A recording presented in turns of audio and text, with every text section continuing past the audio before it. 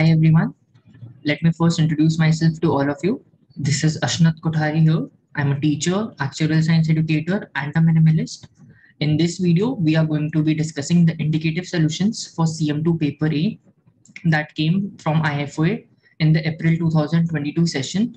Please do keep in mind, these are just the indicative solutions. In case you identify any sort of errors, be it calculation based uh, or conceptual based, do let us know through the comment section uh, of this particular video. We would take a look at that. And in case we find merit in it, we would be pushing the rectifications throughout the comments section itself. So all the viewers watching out, uh, watching this video, do keep in mind to take a look at the comments section as well. In case uh, we come up with any rectifications to the solutions, we shall be penning that particular comment as well. Before starting with the discussion uh, for the solutions, let me also inform you that we would be starting with our new batches from May 8. This is relevant for IAI July 2022 session, IAI December 2022 session, and IFOA September 2022 session. Classes would be held in live offline format that is at physical center in Kolkata.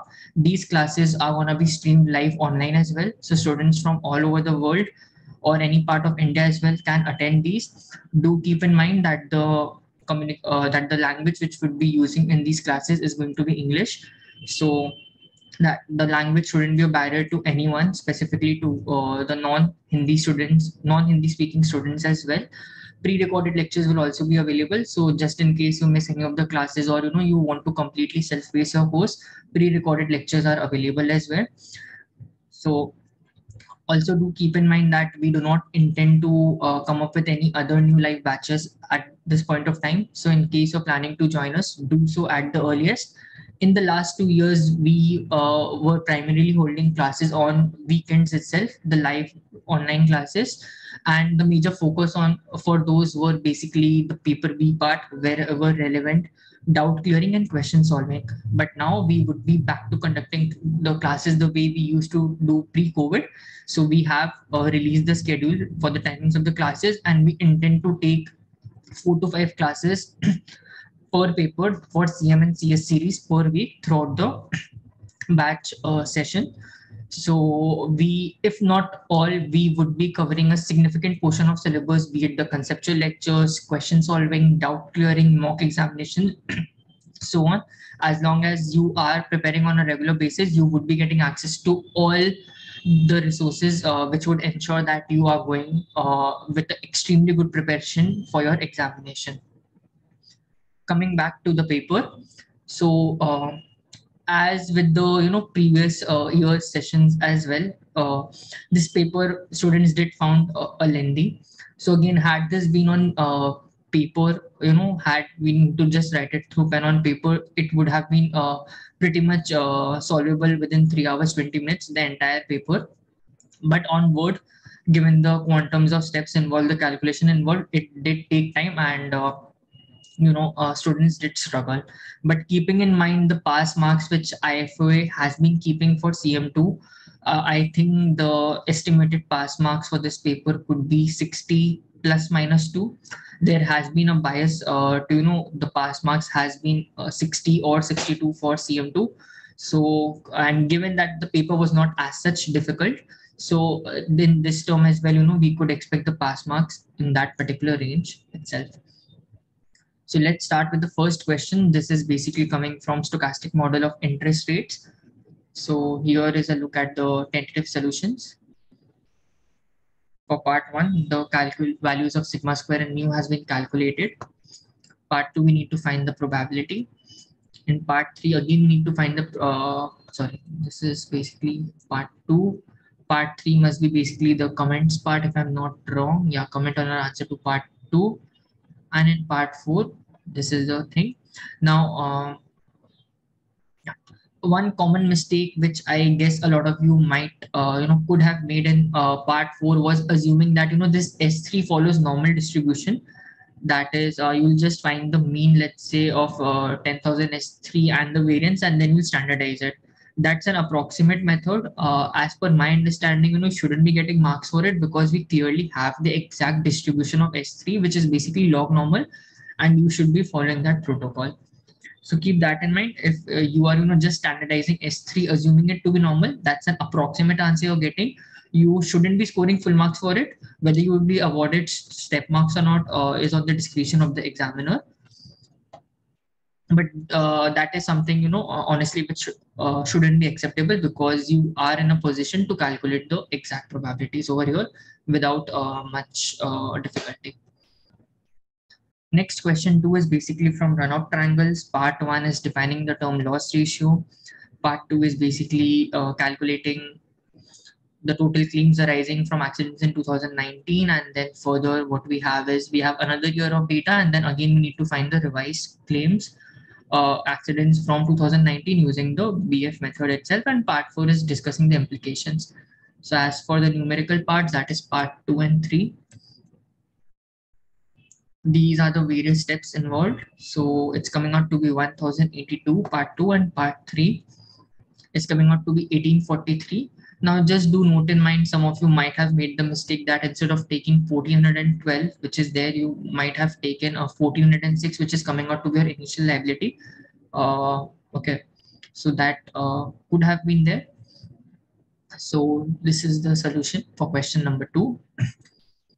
Next question number three, part one, uh, direct book work, part two, straightforward, you know, so overall question three was pretty much straightforward. So let's just quickly glance to the solution of this. Part two, the forward price is 80 e to the power RT. Part three, you just need to go about construction of two portfolio. I have mentioned as well, uh, you know, what these two portfolios would be having, and then the steps and the way you construct with the statements is similar to that has been given in the material or even in the past years as well for similar questions. In part 4, delta is coming out to be 1, gamma is 0 and vega is also 0. Commentary is this is same as for share.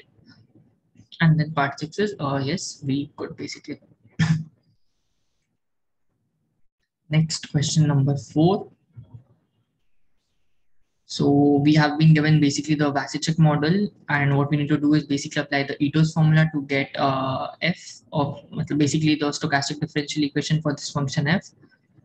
So this is what we have df is equal to del f by del t into dt so on applying basically the Taylor's to expansion formula if you would want to say and it's coming out to be in this form. This is the concise form.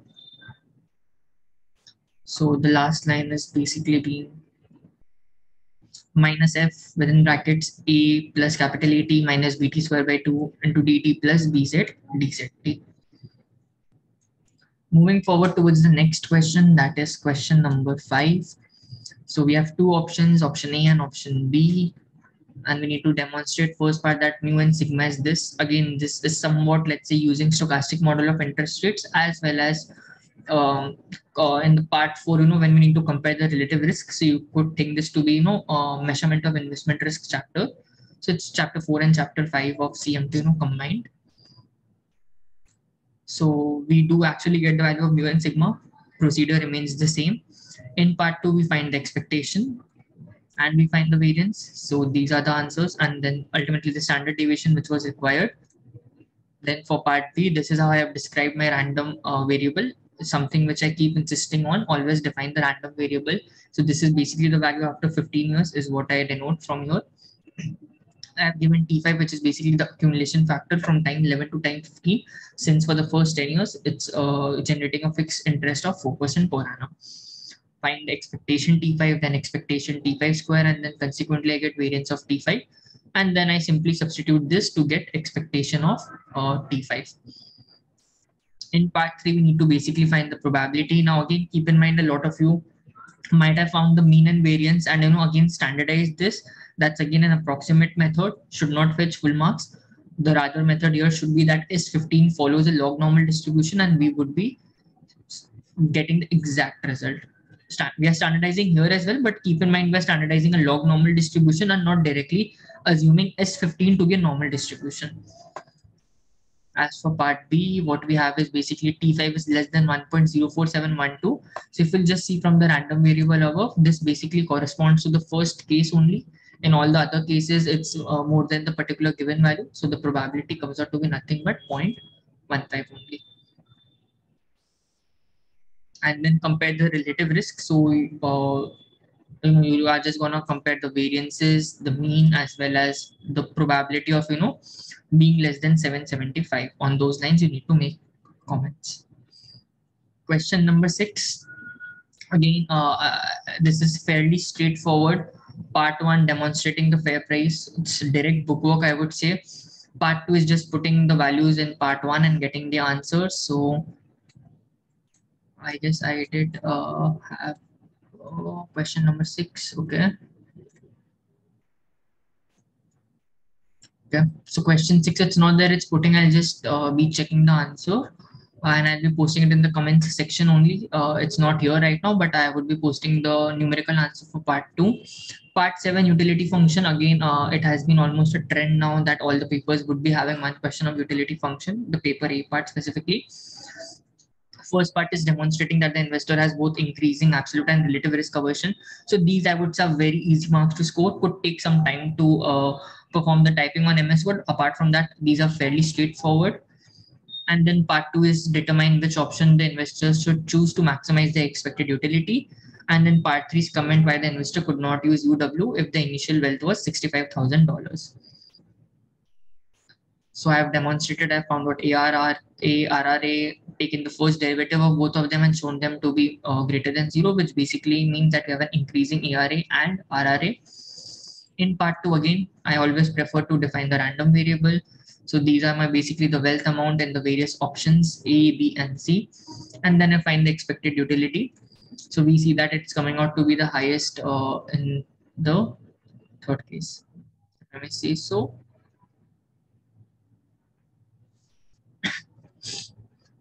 Next, uh, moving forward, part three is comment why the investor could not use because if you're using $65,000, so you will see that this particular uh, utility function, first of all, very important is these are in million dollars.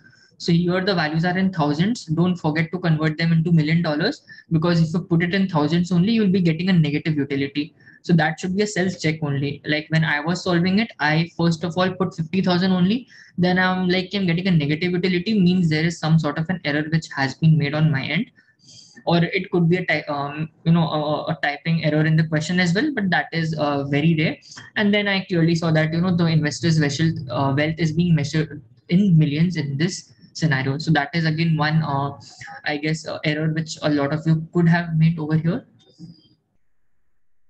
So this is the reasoning for a non-satiated investor. The first derivative should be greater than zero and this will be only the case when W is less than 1 by 12. That is, it should be less than 83,333 pounds or dollars. Should be, excuse me, dollars over here, I guess.